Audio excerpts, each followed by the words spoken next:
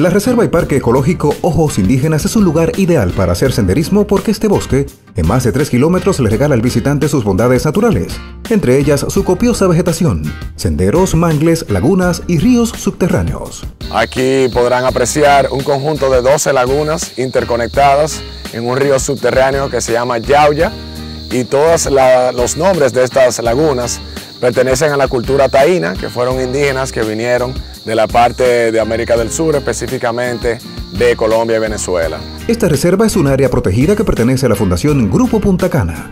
Abarca 1.500 acres de tierra dedicada a la conservación, investigación científica y recreación, con varios bosques subtropicales de tierra baja.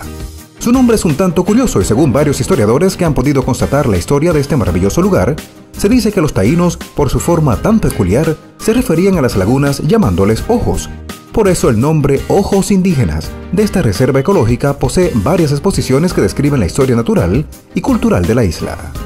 El más impresionante o la atracción más llamativa de la zona de la reserva ecológica es precisamente esta laguna que tengo detrás, que es Guamá, y es porque tiene un tamaño eh, bastante grande en comparación con las demás, además de que tiene un salto que la hace única eh, y que también eh, tiene una coloración que llama muchísimo la atención. Y es que llama más que la atención esta laguna Guamá, el lago más grande de los 12 que cuentan con la protección de la Fundación Grupo Punta Cana, y donde los excursionistas y científicos que visitan centran su atención, por lo copioso del bosque y lo atractivo que se toma.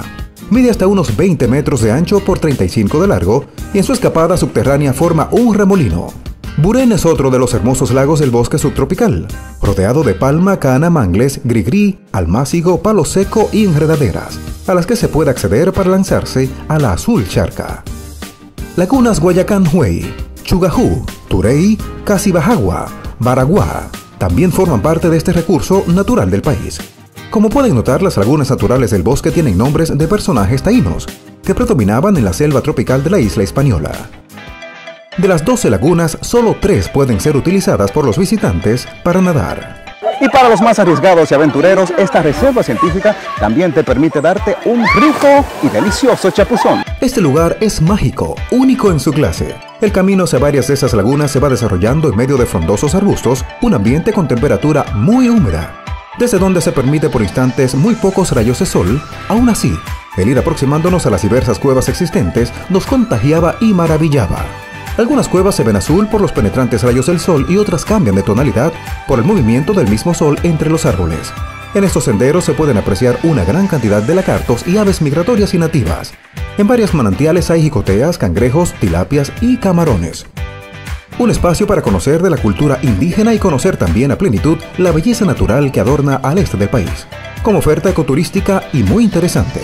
Al recorrer el lugar, el visitante puede apreciar exposiciones que muestran la historia natural y cultural de la isla, abiertos de 8 de la mañana a 4 de la tarde. Es eh, importante visitar este lugar, sobre todo si eres dominicano, para que conozcas más tu país, pero también si eres extranjero, para que tengas una experiencia única de bañarte en estas ricas aguas dulces que vienen desde el movimiento de la tierra y que te van a dar un sentimiento de que te vas a sentir más joven cuando salgas de ellas. Reserva Ecológica Ojos Indígenas, en Punta Cana. Una sensación sin igual que invita a los amantes del senderismo a adentrarse en un mundo que les conectará con la historia natural y ecológica de nuestra nación.